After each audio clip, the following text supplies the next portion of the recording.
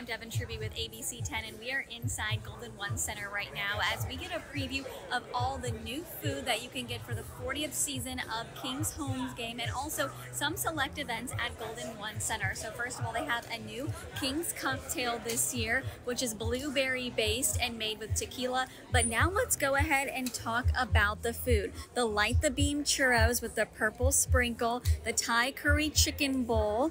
We also have a Cajun chicken sandwich new this year, a grilled ham and cheese, or just a classic grilled cheese with a little bit of a tomato sauce dipper. Oh, and that's not everything.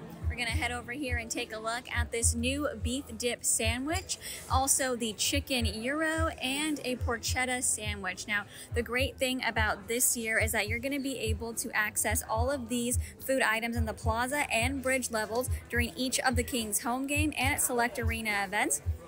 Also, because of last year's success with the King's Pop Up Kitchen, they're going to continue to allow local businesses to come for theme nights and share their specialty items. Some of those theme nights include things like Pride Night, Dia de los Muertos, Women's Empowerment, uh, Black History Month, all those themes that we saw last year. They'll be bringing them back this year for pop up events. For more stories like this, stream them on the ABC 10 Plus.